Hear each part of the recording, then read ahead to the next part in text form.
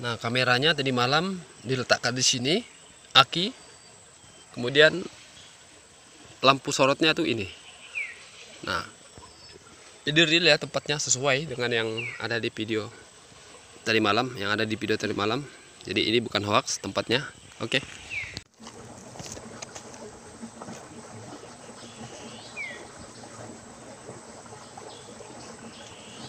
Assalamualaikum warahmatullahi wabarakatuh teman-teman netizen di mana pun berada.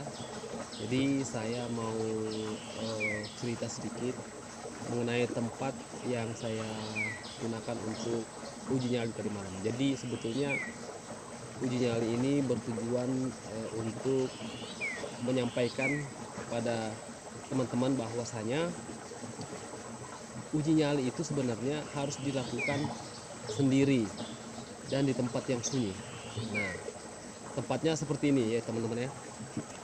Jadi ini real tempatnya tadi malam di sini. Jadi saya sendiri dan nanti saya akan perlihatkan wilayah di sekitar sini itu eh, jauh dari rumah penduduk atau rumah penjaga tambak. Jaraknya itu mungkin ada sekitar 150 meter lebih nanti saya akan shoot jaraknya ya.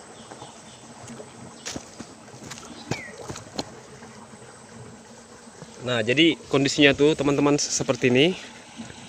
Uh, tadi malam saya mondar mandir di sini. Kemudian bisa teman-teman lihat di sana itu pematang ya di sebelah sana itu tidak ada rumah. Kemudian di sampingnya ini sisi kanan itu sungai sungai. Berarti benar-benar sunyi ya? Sunyi yang ada terdengar itu hanya suara gemercik air. Karena kebetulan air nih air dari sungai masuk. Terus di belakang saya itu sana ada pondok ada pondok. Kemudian ini tempat saya tinggal. Jadi ini pondok namanya pondok kecil tempat ya biasalah kalau tambak itu kan ada tempat tidurnya. Karena tidak mungkin kita datang apalagi jaraknya jauh seperti ini kita datang terus pulang lagi. Itu akan memakan ongkos uh, yang cukup besar. Karena biaya transport uh, lumayan mahal. Nah di sana juga ada pematang di sisi kiri itu sungai. Tidak ada lagi rumah kecuali yang satu ini. Bukan rumah si pondok ya. Nah terus ini lagi jarak tetangga itu jauh sana ya jauh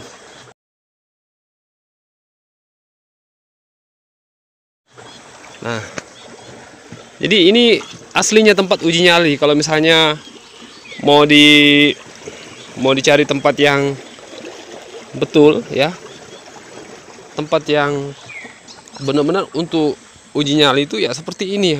Harusnya seperti ini. Tempat yang sunyi, kemudian jauh dari pemukiman dan dilakukan sendirian. Nah, seperti itu teman-teman ya. Nah, inti dari tayangan ini saya mau menyampaikan kepada eh, teman-teman uh, sekalian bahwasanya ketika kita berada di hutan seperti ini jauh dari keramaian yang penting harus kita ingat itu adalah selalu membaca doa. Nah, doa apa yang harus kita amalkan? Ya minimal kalau pengalaman saya pribadi ya untuk berada di tempat yang sunyi seperti ini itu itu minimal sekali. Itu ayat kursi. Kemudian yang dikenal dengan tiga kul. Atau al-ikhlas al-falak dan an-nas. Itu tiga kul ya. Itu yang eh, populer di kalangan keluarga saya disebut dengan tiga kul. Jadi kita harus eh, membentengi diri kita ketika berada di tempat yang sunyi seperti ini dengan eh, bacaan doa yang tadi itu. Saya sebutkan ya. Kalau misalnya ada tambahan ya syukur-syukur ada tambahannya. Kalau misalnya uh, dengan doa yang tadi itu sudah insya Allah kita sudah aman dari gangguan makhluk gaib. Jadi seperti itu uh, saya saya beri judul uji nyali karena memang kita mencoba untuk menguji menguji nyali kita di tempat yang sunyi seperti itu teman-teman ya.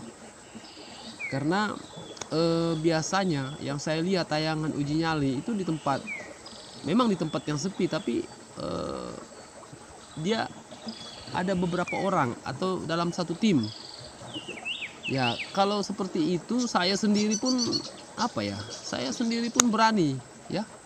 Saya sendiri pun e, tidak ada rasa takut kalau misalnya rame-rame seperti itu nah kalau di tempat yang sunyi seperti ini kemudian kita lakukan sendiri nah, itu baru menurut saya uji uji nyali seperti itu nah, jadi intinya kalau misalnya kita berada di tempat yang seperti ini ini yang menjadi poin penting dalam video ini. Saya mau sampaikan kepada teman-teman untuk tidak lupa membentengi diri dengan doa, bukan dengan eh, hal-hal uh, ya hal-hal yang lain. Itu saya tidak uh, sarankan karena pengalaman saya pribadi juga saya uh, melindungi diri saya dengan doa.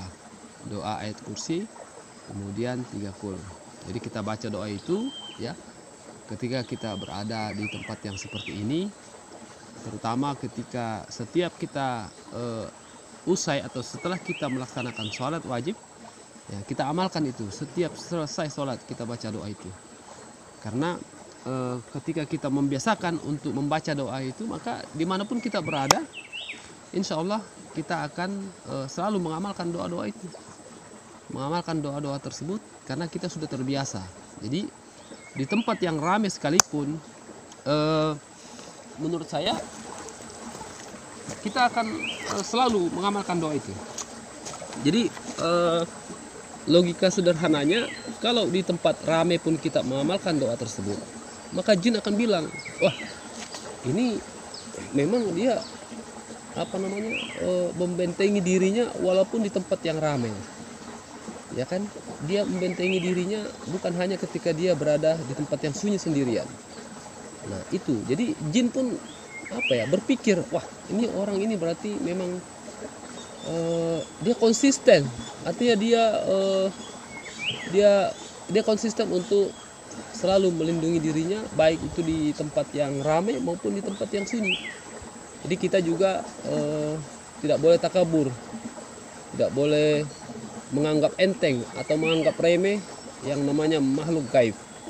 Karena makhluk gaib itu sebetulnya sama dengan kita. Ada aktivitasnya cuma e, dunianya berbeda. Kalau kita wujudnya nyata ya.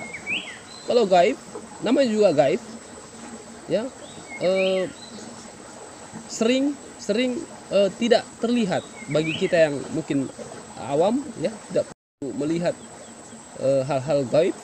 Tetapi kadang kita bisa rasakan bahwa dia ada. Misalnya ini misalnya.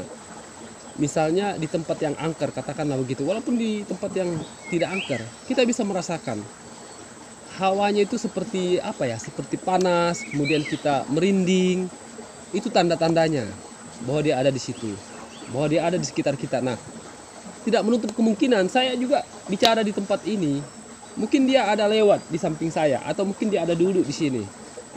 Dia ada duduk di sini di sini atau di mana mungkin dia ada duduk di situ. Jadi eh, makhluk gaib ini tidak bisa kita anggap enteng bahwa dia tidak ada atau dia tidak akan mengganggu kita. Makanya eh, sebelum gangguan itu terjadi atau gangguan itu kita alami makanya terlebih dahulu kita harus uh, proteksi diri kita kita harus bentengi diri kita setiap saat kita bentengi dengan doa dan setelah kita membentengi diri kita kita tidak boleh takabur, tidak boleh menganggap enteng, tidak boleh menganggap remeh bahwa e, makhluk gaib itu tidak ada.